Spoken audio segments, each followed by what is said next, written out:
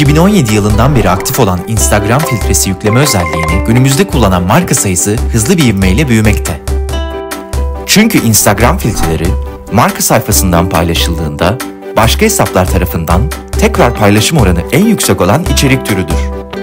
Bu sayede hedef içerik paylaşıldıkça organik olarak yüksek oranda görüntülenme alır.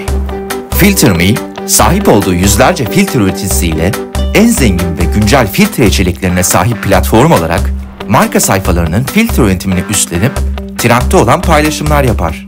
Ayrıca FilterMe, demografik hedefleme desteğiyle içeriğin marka hedef kitlesine ulaşmasını sağlar. Paylaşımlardan alınan sonuçlar her ay sonunda markaya raporlanır.